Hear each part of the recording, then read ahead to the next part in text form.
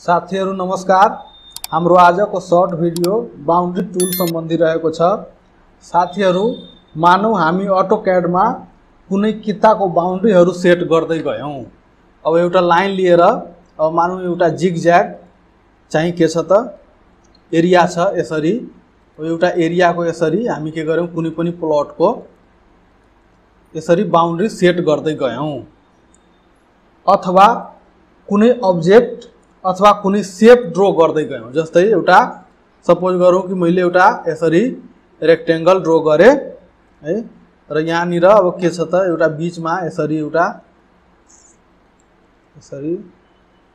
Circle सानो circle यहाँ बनाएर यसलाई ट्रिम गरिदिउँ।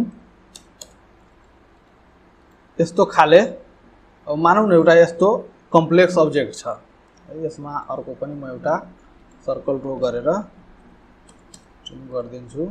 है यसरी। अनि यो सेप चाहिँ यस्तो। यहाँबाट यो यस्तो है।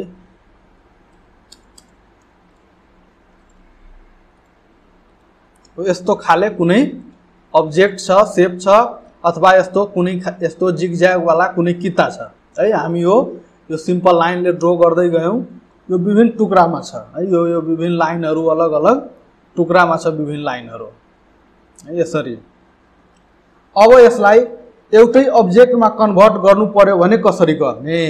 र त्यसको एरिया निकाल्नु पर्यो भने कसरी निकाल्ने? है यसको लागि एउटा एकदम इजी कमान्ड छ बााउन्ड्री कमान्ड है त्यसको लागि के गर्नु पर्यो त बिओ टाइप गरेर अनि इन्टर थिच्ने। है यहाँ अनि के भन्छ यहाँ त? बााउन्ड्री क्रिएसन भन्छ। है यहाँबाट यो पिक पोइन्ट लिने यो पिक पोइन्ट लिने अनि के भन्यो त पिक इन्टर्नल पोइन्ट अनि त्यो हाम्रो जुन अब्जेक्ट छ अथवा किता छ त्यो भित्रको इन्टर्नल पोइन्टलाई एउटा कुनै पनि पोइन्टलाई सिलेक्ट गर्ने। र यसरी यो के हुन्छ त हिडन लाइन जस्तो ड्यास ड्यास लाइन जस्तो आउँछ है। यस्तो आए पछाडि के गर्ने त इन्टर गरिदिने। अब के भयो त साथीहरू यो एउटै अब्जेक्टमा कन्भर्ट भएर जान्छ। अब यो त प्लटको भयो। अब यसको एरिया निकाल्नु पर्यो भने हामी के गर्छौँ त? सिधै यसलाई सिलेक्ट गरेर एलआई टाइप गरेर इन्टर गर्ने अनि यहाँ के आउँछ त? एरिया कति आयो त? अडतिस सय पैँतालिस दशमलव तिन दुई दुई स्क्वायर फिट यसरी के भयो त? हाम्रो एरिया आयो होइन? यो हामी यहाँ टेक्स्ट यहाँ राखेर हामी लेखिदिन पनि सक्छौँ। होइन? यसको के गर्ने त? टेक्स्टको साइज चाहिँ म जस्तै दुई फिटको राखिदिन्छु। अनि यहाँ के गर्न सक्छु त? यहाँ पेस्ट गरेर ओके ल। यसरी हामी टेस्टभित्र एरिया राखिदिन सक्छौँ। अब यो अब्जेक्ट भयो, यसको पनि के गर्ने के कमान्ड छ हामीसँग त? टाइप गर्ने अनि इन्टर गर्ने। है, अनि पिक पोइन्ट भन्छ क्लिक गर्ने। अनि के भन्छ त? पिक इन्टर्नल पोइन्ट अनि यहाँ अब्जेक्ट भित्रको पोइन्टमा हामी एक ठाउँमा क्लिक गर्ने। यसरी hidden line dash dash line टाइपको आउँछ। अनि त्यस पछाडि इन्टर गर्ने। अब यो के भयो त? सिङ्गल अब्जेक्टमा कन्भर्ट भयो। अब यसलाई सिङ्गल अब्जेक्टमा कन्भर्ट र यसको एरिया पनि निकाल्नु पऱ्यो भने यसको पनि सेमै हो। यो अब्जेक्टलाई सेलेक्ट गर्ने एलआई इन्टर गर्ने एरिया आउँछ है यसरी।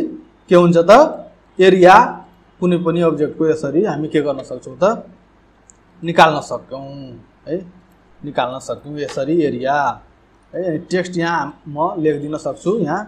यो टेक्स्टको साइज फेरि दुई फिटको मैले राखेर यहाँ पेस्ट गरिदिन्छु यसको एरिया यहाँ। एरिया लेखेर इक्वल टु ल। यसरी। अब फेरि पनि यो अब्जेक्टलाई टुक्रा टुक्रामा पार्नु पर्यो भने के गर्न सकिन्छ? त यसलाई सेलेक्ट गरेर अनि एक्सप्लोड गर्न सकिन्छ।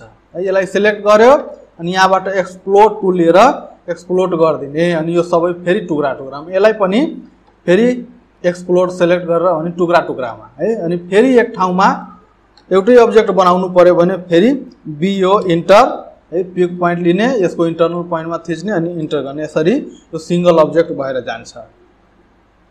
साथीहरू यस्तै खाले अरू पनि AutoCAD fix asset valuation estimation and costing र रेसिडेन्सियल बिल्डिङ सम्बन्धी ज्ञानका कुराहरू हेर्न र सिक्नलाई हाम्रो च्यानल लर्ड कृष्णलाई सब्सक्राइब गरिदिनुहोला। धन्यवाद।